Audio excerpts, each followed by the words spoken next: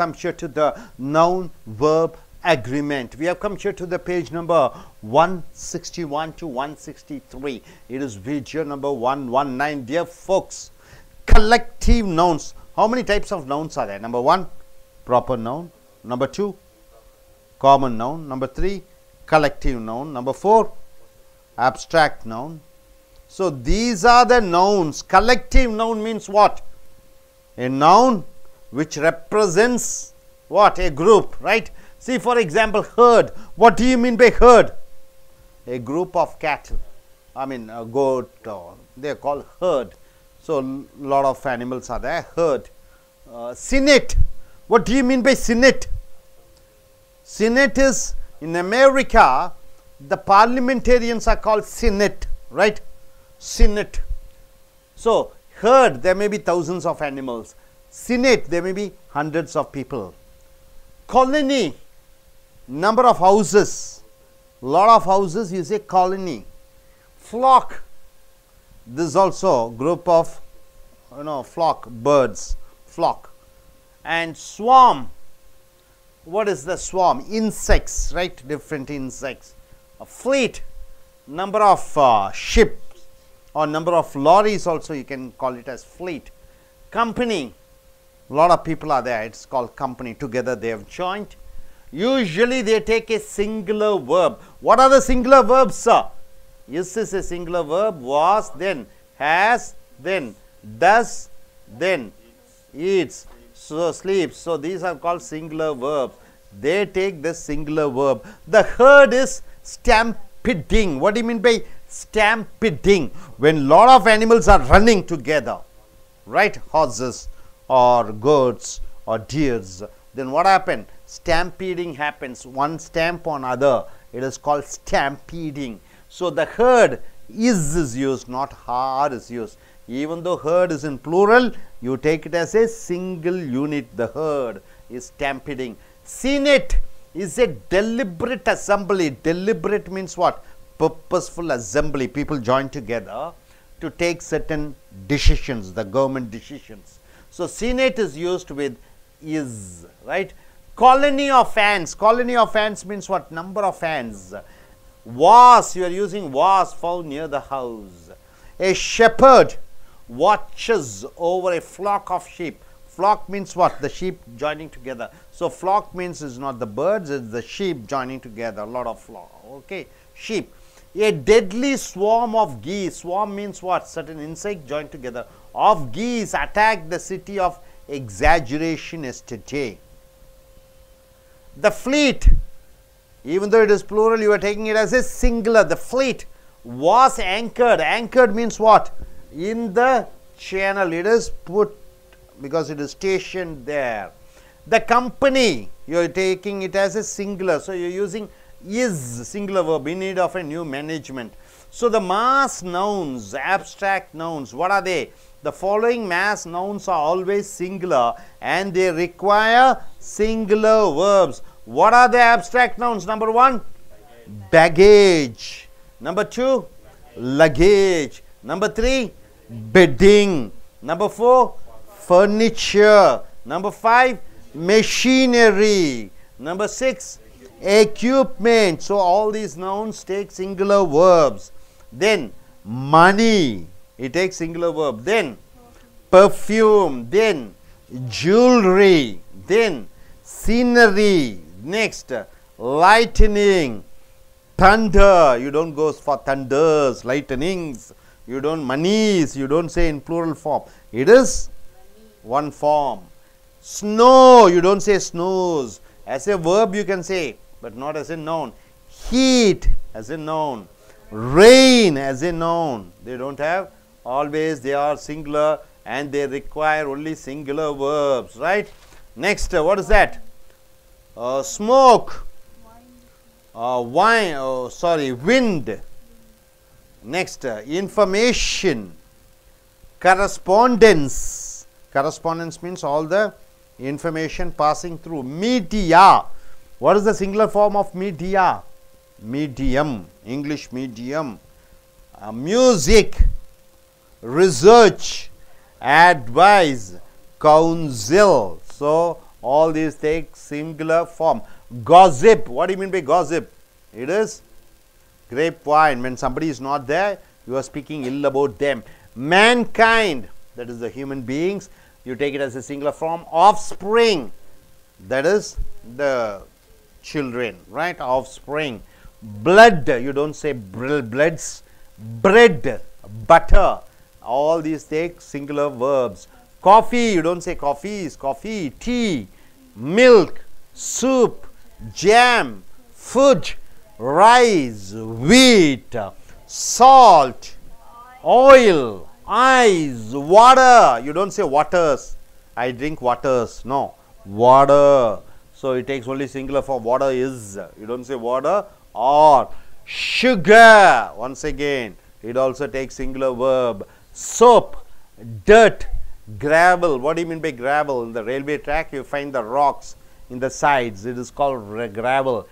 Dust, wood, sand, work, ink, homework, chalk, alphabet, prose, poetry, electricity. You don't say electricities, right?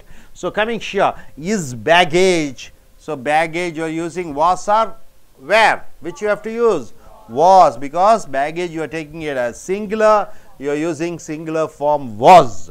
Luggage you are taking singular form is. You don't say are. Bedding, futon bedding. What do you mean by futon? It is something, it is not exactly a bed, something where you lie on. It is like a bed, but not a bed, mini bed where you can lie on, not for sleeping purpose. So, futon bedding is usually, so you are using is, singular verb, usually folded and stored in closets each morning. What do you mean by closets? This is a cupboard where you keep your dress, right? So, futons are usually uh, or uh, folded and kept in the closets. I have sold all my Furnitures, you don't say furniture. So, it is a singular form even though there are hundreds of chair and bench, everything is there. You call it as furniture. You don't say furnitures. All machinery is old. So, machinery you are taking it as singular and is, is used. He has the necessary equipment. So, equipment you are using has. Money you are taking it as a singular is in my wallet means is the purse. There are perfume bottles. So, bottles are coming there you are using are nothing wrong right. Platinum jewelry, platinum jewelry. So, jewelry you are using with is right. Now, the scenery is beautiful. So, the scenery you are taking it as a singular and you are using singular verb is. A lightning storm was, was is a singular verb, right? Was rolling up the valley. The thunder struck, struck is used in past tense. So, the huge snip. Uh, snow, snow you are using with singular verb. Snow is so white and bright. So is snow is so white and bright. This heat, heat you are using with singular verb. Heat is killing me. It is a bad rain. So, rain you are using singular verb is right. Now, coming here the wind is blowing. So, the wind is taken as singular and there you are using singular verb is second hand smoke. Smoke you are taking as a singular smoke is the smoke from a cigarette. Her information. So, information you are taking it as a singular you are using with is the information, uh, information is correct. The correspondence, correspondence is the message which you are passing through. You are using is here with submitted. Media, you are using is. Media is for news and other mass communication methods. Music, you are taking it as a singular you are using the singular verb is music is my favorite subject. The research you are using is insightful. The research is insightful. He gave me many pieces of advice. So, advice is taken as a singular, right, sir? Now, that legal counsel, counsel means what? People who give you advice on legal matters on religious matters, anything there you are using business counsel for business they are counseling you right consultants can be called as counsel that legal counsel doesn't represent a single man member right sir? Gossip you are taking it as a singular is idle talk. Uh, gossip is idle talk. Idle means what? It's a waste talk. Gossip means what you are talking about somebody when somebody is not there. Mankind. So with the mankind you are using singular verb is mankind is the only species that has taken control of the speed. So only the man is able to take care of the speed in rocket he goes up to the space uh, and in car in train bullet train aeroplanes uh, you know the speed is uh, one thing mankind is the only species that has control over the speed. John was the offspring of his mother and father. So offspring means what? He's the heir. So he is the next uh, he has the right offspring. He is born of his mother and father. Blood as a singular verb carries you don't say carry carry so blood is blood as blood does blood carries oxygen throughout the body right? So you are taking it as a singular subject and singular verb carries is used. Bread as a singular subject so you are using is. Bread is the first necessity of life. So food is the first necessity of life. So bread you are taking it as a singular you are using singular verb is. This butter smells smells becomes a singular verb smell is a plural verb smells is a singular verb. This butter smells strange. Some different smell is coming out of this butter. The co i mean coffee coffee as a singular verb now subject a singular noun. So you are taking helps. Helps is the verb. Coffee helps many people to stay awake uh, during the day. So coffee helps. You don't say coffee help. Coffee has coffee does coffee is. So you don't use coffee are. So tea is same way. Tea is a more refreshing drink right? So more then it is going in for a comparison with coffee. So tea is more refreshing drink. Is is used? Milk in the same way you are using is very good for babies. And coming here a hearty vegetable soup. Vegetable soup you're using is a hearty vegetable soup is good in winter months right? So hearty vegetable soup. Soup is used with singular verb is. And here this jam tastes good. So jam is used with the singular verb tastes. English food. So english food is you are using with is. You don't say english foods. English food is too bland for my taste. Next rice. Rice even though it is a huge quantity we now cannot count. It may be looking in plural but it is singular. So you are taking as rice is my staple food. Staple food means what? Usual food which i take from my young days. Staple food.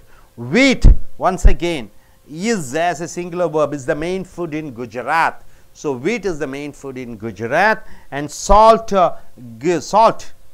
Salt you are using singular verb gives. Salt gives. Taste to food. So gives is a singular verb. And next oil as a subject you as a subject you take it as a singular verb is. Oil is the cause of many modern conflicts right sir? So my dear friends from 1 to nearly 54 1 to 54 what are they? They are called abstract nouns. These nouns you are 50 okay 57 yeah 57 uh, electricity poetry prose. The prose is good poetry is wonderful. Electricity is cut in my area. Electricity is cut. Electricity are cut you don't say right? So for all these abstract nouns you are using what? What are you using? Is does has eats smells tastes looks all yes right sir. I request you gentlemen to come forward. Yes please come here so நண்பர்களே A American ஆங்கில வகுப்புகளுக்கு வரவேற்கிறோம். ஒருமை பெயர் சொல்லும் ஒருமை வினை சொல்லும் இணைக்கப்படுகிறது. இஸ் என்பது ஒருமை வினைச்சொல் வாஸ் என்பது ஒருமை வினைச்சொல் ஆஸ் என்பது ஒருமை வினைச்சொல் டஸ் என்பது ஒருமை வினைச்சொல் ஈட்ஸ் என்பது வினைச்சொல் கலெக்டிவ் நவுன்ஸ் என்றால் என்ன? கூட்டாக சொல்லக்கூடிய பெயர் சொற்கள். ஹேர்ட் என்றால் என்ன? மந்தை என்று சொல்கிறோம் ஆட்டு மந்தை என்று சொல்கிறோம். சினேட் என்றால் என்ன? ஒரு குழுவாக அந்த அமெரிக்காவிலே இந்த பார்லிமெண்ட் போன்ற இருக்கக்கூடிய உறுப்பினர்களை சீனேட் உறுப்பினர்கள் என்று சொல்வோம். காலனி என்றால் என்ன? கூட்டாக இருக்கக்கூடிய வீடுகள். ஃப்ளாக் என்றால் என்ன? இதுவும் ஆட்டு மந்தைகள் என்று சொல்வோம். ஸ்வாம் என்றால் என்ன? பலவிதமான உயிர் இதுகள் ஒன்றாக சேரக்கூடியது. ஃப்ளீட் என்றால் என்ன? பல கப்பல்கள் ஒன்றாக செல்லக்கூடியது. கம்பெனி என்றால் என்ன? பல பேர் ஒன்றாக இருக்கக்கூடிய usually take a singular verb. இந்த ஒருமை வினைச்சொல்லை தான் எடுக்கும். Is was has does eats the herd படிங்க ஃபர்ஸ்ட் சென்டென்ஸ் என்ன stampeding. ஹேர்ட் என்றால் என்ன? அந்த ஆட்டு மந்தைகள் அந்த ஒட்டுக்காக பல விலங்குகள் ஒன்றாக வருகிறது. கால்களை மிதித்து கொண்டு செல்கின்றன. ஸ்டாம்பீடிங் அப்ப மிதிபட்டு செல்கிறது. அங்க ஹேர்டு கூட இசுதான் போட்டு விடுகிறாய். அடுத்தது. சென்னேட் என்றால் என்ன? இங்க சட்டத்தை இயற்றக்கூடிய அரசியல்வாதிகள் இஸ் எ டெலிபரேட் அசம்பிளி தேர்ந்தெடுக்கப்பட்ட உறுப்பினர்களை செனட் என்று சொல்வாய் அமெரிக்காவிலே. டெலிபரேட்டிவ் என்றால் என்ன? வேண்டுமென்றே கூறப்பட்டிருக்கக்கூடிய அசம்பிளி என்றால் என்ன? சபை என்று சொல்வோம். அடுத்தது. ஆயிரக்கணக்கான எறும்புகள் ஒன்றுடன் ஒன்று ஊன்று செல்லக்கூடியதை காலனி ஆஃப் ants என்று சொல்கிறாய். ஏகப்பட்ட எறும்புகள் என்று சொல்கிற பொழுது அது எறும்புகள் என்று வருகிற பொழுதே வாசுதான் பயன்படுத்த வேண்டும். அடுத்தது. ஒரு ஆடு மேய்ப்பவன் தன்னுடைய ஆட்டு மந்தையை மேற்பார்வை எடுகிறான். ஷெப்பர்ட் வாட்சஸ் கவனிக்கிறான். ஃப்ளாக் ஆஃப் எ ஷிப் அடுத்தது A deadly swarm of geese attacked the city of Execution yesterday. Execution yesterday அப்ப ஸ்வாம் என்றால் என்ன? அந்த கூட்டாக இருக்கக்கூடிய புழு பூச்சிகள் தாக்கியது ஒரு நகரத்தை அடுத்தது. The fleet was anchored in the channel. Anchor என்றால் ரங்கூரம் பாய்ச்சப்படுகிறது நங்கூரம் பாய்ச்சப்படுகிறது. சேனல் என்றால் என்ன? கால்வாய். அங்கே கப்பல்கள் நங்கூரம் பாய்ச்சப்பட்டிருக்கிறது. அந்த கால்வாயிலே அடுத்தது. The company is in need of new management. அந்த நிர்வா நிர்வாகம் ஒரு புதிய நிர்வாகத்தை தேவையாக இருக்கிறது. ஆக கம்பெனி கூட எஸ் தான் போட்டு விடுகிறாய். அடுத்தது yes please come yes miss Divya please come forward வாருங்கள் அடுத்தது பார்த்தீங்கன்னா இந்த மாஸ் நவுன்ஸ் என்று சொல்வீர்கள். மாஸ் நவுன்ஸ் என்றால் என்ன? ஏகப்பட்ட பெயர் சொற்கள் ஒன்றாக இருக்கக்கூடியதை மாஸ் நவுன்ஸ் என்று சொல்வீர்கள். அதுக்கு ஆப்ஸ்ட்ராக்ட்ஸ் நவுன்ஸ் என்றால் என்ன? உருவமற்ற பெயர் சொற்கள் என்று சொல்கிறோம். Following mass nouns are always singular இந்த உயிரில்லாத அல்லது இந்த ஆப்ஸ்ட்ராக்ட் நவுன் உருவம் அல்லாத பெயர் சொற்களுக்கு எப்பொழுதும் இஸ்ஸு டஸ்ஸு ஹேஸு ஈட்ஸ் தான் போட வேண்டும். உதாரணத்துக்கு படிங்க இது என்ன எழுதி இருக்குது பேகேஜ் நல்லா சத்தமாக சொல்லுங்க அங்கே பாருங்க திரும்புங்க இங்கே பக்கத்தில் வாங்க கொஞ்சம் இங்கே பக்கம் வாங்க. பேகேஜ் என்றால் என்ன? மூட்டை முடிச்சுக்கள் மூட்டை முடிச்சுக்கள் கூட இஸ் டஸ் ஹேஸ் தான் வரணும். அடுத்தது என்ன? லக்கேஜ் லக்கேஜும் என்றாலும் மூட்டை முடிச்சுக்கள் சூட்கேஸ் எல்லாம். அடுத்தது பெட்டிங் என்றால் என்ன? படுக்கை. அடுத்தது ஃபர்னிச்சர் மேஜை நாற்காலிகளை ஃபர்னிச்சர் என்று சொல்வாய். நூற்றுக்கணக்கானதாக இருந்தாலும் ஃபர்னிச்சர் என்று சொல்வாய். அது கூட இசுதான் வர வேண்டும். அடுத்தது மெஷினரி என்றால் என்ன? இயந்திர ஜாமான்கள். அது பண்மையிலே இருந்தாலும் ஒருமையாக மெஷினரி என்று தான் சொல்ல வேண்டும்.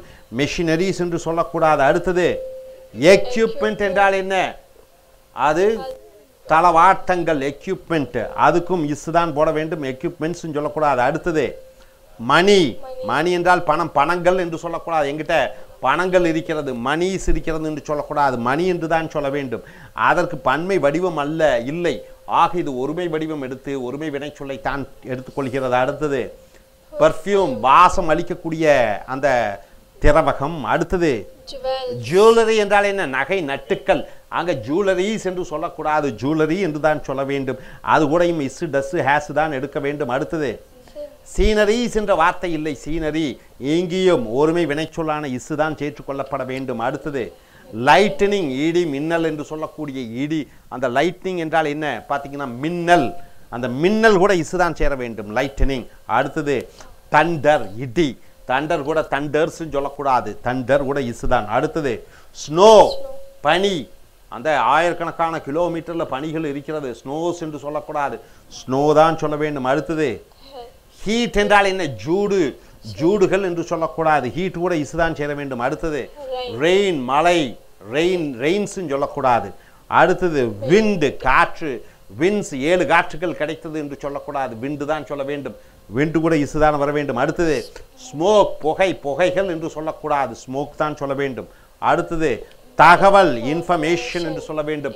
இன்ஃபர்மேஷன்ஸ் என்று சொல்லக்கூடாது. அடுத்தது கரஸ்பாண்டன்ஸ் என்றால் என்ன? ஒருவருக்கு ஒருவர் தொடர்பு கொள்ளக்கூடிய செய்திகளை அனுப்புதலை கரஸ்பாண்டன்ஸ் கரஸ்பாண்டன்சஸ் என்று சொல்லக்கூடாது. அடுத்தது மீடியா மீடியம்னு சொல்லக்கூடாது. மீடியம் என்றால் ஒன்று மீடியா என்றால் பன்மையாக வருகிறது. அடுத்தது மியூசிக் இசை மியூசிக் இசுன்னு தான் சொல்லணும். மியூசிக்ஸ் என்று சொல்லக்கூடாது. அடுத்தது அட்வைஸ் புத்திமதி அட்வைசஸ் என்று சொல்லக்கூடாது. அடுத்தது கவுன்சில் அறிவுரை சொல்லக்கூடிய கவுன்சில்ஸ் என்று சொல்லக்கூடாது. எஸ் நீங்க சார் வாங்க. காசிப் இருபத்தி ஐந்தாவது இவைகளெல்லாம் ஒருமையாக நினைத்து ஒருமை வினைச்சொல்லான இசு டஸ் தான் வர வேண்டும். கொஞ்சம் பின்னாடி போய்க்குங்க. காசிப் என்றால் என்ன? ஒருவர் இல்லாத பொழுது புறம் கூறுதல். கொஞ்சம் back side camera gossip mankind என்றால் மனித குலம். அது கூட இசுதான் போட வேண்டும். அடுத்தது Offspring. ஆஃப் என்றால் வாரிசு. வாரிசு கூட இசுதான் போட வேண்டும். அடுத்தது Blood. பிளட் ரத்தம் பிளட்ஸ் என்ற வார்த்தை இல்லை. பிளட் என்று தான் சொல்ல வேண்டும். இசுதான் போட வேண்டும். அடுத்தது Bread. பிரெட் ரொட்டி பிரெட்ஸ் என்று சொல்லக்கூடாது. வார்த்தை இல்லை. பிரெட் கூட இசுதான் அடுத்தது வெண்ணெய் பட்டர்ஸ் என்று வார்த்தை இல்லை. பட்டர் இஸ் என்று தான் சொல்ல வேண்டும். அடுத்தது காஃபி காஃபி காஃபி கூட இசுதான் சேர வேண்டும். ஹேஸ் தான் சேர வேண்டும். காஃபீஸ் என்ற வார்த்தை கிடையாது. அடுத்தது. டீஸ் என்ற வார்த்தை கிடையாது. டீ தான். அது பன்மையாக இருந்தாலும் முழுமையாக இருந்தாலும் டீ தான். அதே போன்று மில்க்ஸ் என்ற வார்த்தை கிடையாது. மில்க் அடுத்தது Soup. சூப் சூப்ஸ் என்ற வார்த்தை கிடையாது. சூப்பு தான். அடுத்தது. ஜாம்ஸ் என்ற வார்த்தை கிடையாது. ஜாம்ஸ் என்றால் ஒன்று மோதிக்கொண்டார்கள் என்று சொல்கிற பொழுது ஜாம்ஸ் என்று சொல்கிறோம். ஆனால் அந்த அந்த படங்கள் மூலமாக செய்யக்கூடிய அந்த சாப்பாட்டு ஐட்டத்தை என்ன சொல்வீங்க? ஜாம் என்று தான் சொல்வாய். ஜாம் கூட இசுதான் வர வேண்டும். அடுத்தது. ஃபுட் என்றால் உணவு. ஃபுட்ஸ் என்ற வார்த்தை கிடையாது. அடுத்தது. ரைஸ் என்றால் அரிசி. அரிசிகள் என்று வார்த்தை இல்லை. பத்து அரிசிகளை கொண்டு வந்தேன். இல்லை. ரைஸ் என்று தான் சொல்ல வேண்டும். ரைஸ் கூட இசுதான் சேர வேண்டும். அடுத்தது. வீட் என்றால் கோதுமை. வீட்டு கூட இசுதான் சேர வேண்டும். வீட்ஸ் என்ற வார்த்தை கிடையாது அடுத்தது Salt. சால்ட் உப்பு சால்ஸ் என்ற வார்த்தை கிடையாது Oil. ஆயில் ஆயில்ஸ் என்ற வார்த்தை கிடையாது ஆயில் கூட இசுதான் சேர வேண்டும் Ice. ஐஸ் கூட ஐசஸ் என்று சொல்லக்கூடாது ஐசிஸ் தான் சொல்ல வேண்டும். வாட்டர்ஸ் என்ற வார்த்தை கிடையாது பத்து வாட்டர்ஸ் வந்தது எனக்கு அப்படின்னு சொல்லக்கூடாது வாட்டர் இஸ் அடுத்தது Sugar. சுகர் சுகர் என்றால் சர்க்கரை சுகர்ஸ் என்று சொல்லக்கூடாது சுகர் இஸ் அடுத்தது Soap. சோப் இஸ் தான் சொல்லணும் சோப்ஸ் என்று சொல்லக்கூடாது. டர்ட் அழுக்கு டர்ட்ஸ் என்று சொல்லக்கூடாது. கிரேவல் என்றால் என்ன? அந்த ரயில்வே ட்ராக்ல பார்த்தீங்கன்னா அந்த ரெண்டு பக்கம் கல்லுகளை போட்டு விட்டுருப்பாங்க. அது என்ன சொல்லுங்கப்பா உடைந்த பாறையினுடைய துகில்களை கிராவல் என்று சொல்வோம். கிராவல்ஸ். என்ற வார்த்தை கிடையாது. டஸ்ட் என்றால் என்ன? தூசி. டஸ்ட்ஸ் என்று சொல்லக்கூடாது. Dust is wood. வுட்டு கூட இஸ் தான் சேர வேண்டும். சாண்ட் மண் சாண்ட்ஸ் என்ற வார்த்தை கிடையாது. ஒர்க்கு வேலை. ஒர்க்ஸ் என்று சொல்லக்கூடாது. ஒர்க்ஸ் வினைச்சொல்லாக சொல்லலாம். ஒர்க் பெயர் சொல்லாக வேலை என்று சொல்கிற பொழுது அதற்கு பன்மை வடிவமில்லை. இசுதான் சேர்த்து கொள்ள வேண்டும். இங்கு கூட இசுதான் சேர்த்து கொள்ள வேண்டும். ஹோம்ஒர்க் வீட்டு பாடத்து கூட இசுதான் சேர்த்து கொள்ள வேண்டும். சாக் கூட இசு ஆல்பபெட் கூட இசு. ப்ரோஸ் என்றால் என்ன? பாயம் என்றால் கவிதை. ப்ரோஸ் என்றால் என்ன? கட்டுரை. ஸோ ப்ரோஸ் கூட இசுதான் சேர வேண்டும் poetry கவிதை கூட இசு எலக்ட்ரிசிட்டி மின்சாரத்து கூட இசுதான் சேர வேண்டும். இங்க படிங்க is. His baggage was lost yesterday. அவனுடைய பை மூட்டை முடிச்சுக்கள் நேற்று தொலைந்தது வாசு தான் போட வேண்டும். பேகேஜ் கூட வேர் போடக்கூடாது இசு வாசு டஸ்ஸு ஹேஸு. அவைதான் போட வேண்டும். அடுத்தது My luggage is lying at the bus stand. என்னுடைய சூட்கேஸ் என்னுடைய லக்கேஜ் என்னுடைய ஜாமானங்கள் is lying at the bus stand bus ஸ்டாண்டிலே கிடைக்கின்றன. இஸ் தான் போட வேண்டும் ஆர் போடக்கூடாது. அது மூணு சூட்கேஸாக இருந்தாலும் லக்கேஜ் என்று தான் சொல்ல வேண்டும். லக்கேஜஸ் என்று சொல்லக்கூடாது. அடுத்தது Futon bedding is usually folded and stored in the closet each morning. Futon bedding என்றால் என்ன? அது ஒரு வகையான விரிப்பு. அந்த விரிப்பு மேல் உட்கார்ந்து கொள்ளலாம் சாய்ந்து கொள்ளலாம். ஆனால் படுக்கை போன்று படுக்க முடியாது அதான் ஃபுட்டான் பெட்டிங் என்று சொல்வார்கள். அதை ஃபியூட்டான் என்று வருகிற பொழுது பெட்டிங் என்று வருகிற பொழுது இசுதான் போட வேண்டும். அதை மடிக்கலாம் ஃபோல்டட் ஸ்டோர்டு பத்திரமாக வைக்கலாம். க்ளோசெட்ஸ் என்றால் என்ன? பீரோவிலே துணி வைக்கக்கூடிய அலமாரியிலே ஈச் மார்னிங் அடுத்து I have நான்கு. sold all my furniture which was useless. I have sold நான் விற்றுவிட்டேன். என்னுடைய ஃபர்னிச்சர் என்றால் என்ன? மேஜை நாற்காலிகளை. விச் வாஸ் யூஸ்லெஸ் என்றால் என்ன? உபயோகமற்றது. கொஞ்சம் பின்னாடி வைக்க நெல். ஆ which was useless so my furniture கூட வாஸ் தான் யூஸ் பண்ண வேண்டும். ஃபர்னிச்சரை ஒருமையாக எடுத்துக்கொண்டு வாஸ் போட்டு விடுகிறாய். அடுத்தது All machineries is old. அனைத்து மெஷின்களும் பழமையானதாக இருக்கிறது. மெஷினரி கூட இசு தான் போட வேண்டும். மெஷினரியை நீங்க என்னவாக எடுத்துக்கொள்கிறீர்கள்? சிங்குலராக எடுத்துக்கொண்டு இசு தான் போட வேண்டும். அடுத்தது He has the necessary equipment for law. he has the necessary equipment the equi- equipment கூட has வருகிறது. அடுத்தது My money is my wallet. என்னுடைய பணம் என்னுடைய பர்சிலே இருக்கிறது. பணத்து கூட இசுதான் சேர வேண்டும். அது ஆயிரக்கணக்கான ரூபாய்களாக இருந்தாலும் நீ என்ன சொல்ற? மணி என்று ஒருமையிட ஒருமையாகத்தான் சொல்கிறாய். இசுதான் போட வேண்டும். There are perfume bottles. Perfume bottles perfume என்றால் என்ன? வாசனை அளிக்கக்கூடிய அந்த திரவியம். அது கூட பெர்ஃப்யூம் பாட்டில்ஸ் என்று வருகிற பொழுது ஆர் யூஸ் பண்ணுகிறாய். ஜுவல்லரி பிளாட்டினம் நகைகள். அது ரொம்ப கனமாக இருக்கிறது. அந்த நகைகள் என்று பன்மையிலே வந்தாலும் ஜுவல்லரி என்ற ஒருமை வார்த்தை ஒருமை வினைச்சொல் இசுதான் போட்டு விடுகிறாய். அந்த காட்சி அருமையாக அழகாக இருக்கிறது. காட்சி காட்சிகள் என்ற வார்த்தை இல்லை இசுதான் போட வேண்டும். A lightning storm was rolling up the valley. அந்த மின்னல் அடிக்கக்கூடிய அந்த புயல் வாசுதான் போட வேண்டும். ரோலிங் அப் த வேலி என்றால் என்ன? பள்ளத்தாக்கிலே வந்தது. அடுத்தது The thunder struck the huge ship. அந்த இடி அந்த மிகப்பெரிய கப்பலை தாக்கியது தண்டர் ஸ்ட்ரக் அடுத்தது Snow is so white and bright. அந்த ஸ்னோ என்று சொன்னா பனி ரொம்ப வெள்ளையாகவும் ரொம்ப ரொம்ப வெளிர் தன்மையாகவும் பிரைட்டாகவும் பிரகாசமாக இருக்கிறது ஸ்னோ கூட இசுதான் போட்டு விடுகிறாய் This heat is killing me. இந்த ஜூடு என்னை கொன்று விடுகிறது சென்னையில் இருக்கக்கூடிய ஜூடு இசு தான் போட வேண்டும். ஹீட் கூட இசு அடுத்தது. It is a bad rain. அது ஒரு மோசமான மழையாக இருக்கிறது. இசு தான் போட்டு விடுகிறாய். Hope you able to understand yes please come அடுத்ததாக நெக்ஸ்ட்